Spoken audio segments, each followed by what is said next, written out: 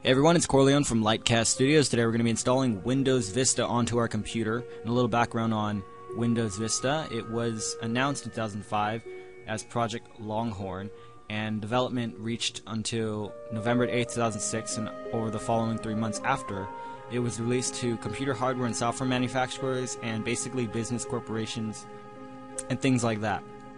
Later, it was released on January 30th, 2007, worldwide and available for purchase and download from Microsoft's website currently. Uh, the release of Vista came more than five years after, after its introduction and predecessor, uh, Windows XP, which was the longest time between successive releases of Microsoft operating systems, considering Windows 98 came just before uh, Windows 2000, just I think one year before Windows 2000 came out. And so five years was a pretty long time. However, Microsoft kept up to quota when they released uh, Windows 7 um 2009 and it was succeeded by Windows 7 but Windows Vista is still used by many people today and installing it is just as easy as installing Windows 7 so if you haven't done so already just pop in your CD into the CD drive and boot up uh, the installation. So restart your computer it'll boot up your disk if you haven't done so. And now Windows is loading the files, and once we get to the first window where we choose our language settings and keyboard settings, we will begin. So I'll get back to you once we get there. Okay, as you can see, we have gotten to the first window for installing Windows Vista, the language, time, and keyboard settings. I'm going to keep everything at default as they are correct. Make sure if you're in another country, select the correct um, settings and the correct country, and click Next. Accept the licensing terms. If you want to read through them, you can freely do so. Click Next. And now we have gotten to the partitioning window where we have to format our hard drive if it isn't already formatted and wipe out our data if we'd like to. As you can see, I haven't used any data on my hard drive as it is unallocated space and the type is nothing because it is not formatted. So we, what we need to do is go to Drive Options, Advanced, click New, and we can change the size if you want to partition it or split it into two um, hard drives, but we're just going to keep it at default and click Apply.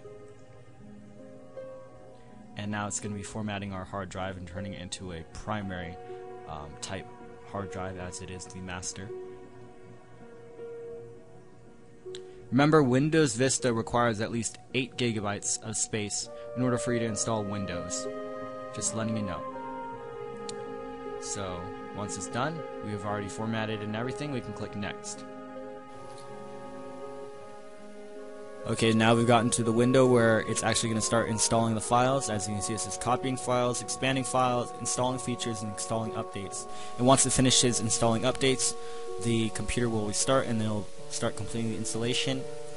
And in between, there is no uh, input, user input, so you don't have to worry about having to uh, set up your username or password or your account or anything like that until after it finishes completing installation. So once it's done completing installation, we will get back to you. Alright, looks just about done, and now it's restarting my computer. As you can see, don't press any key to boot from CD. Do not press anything, just let it load, and Windows Vista will start loading. It may take a little bit to boot up, but it depends on your computer's speed, and as you can see,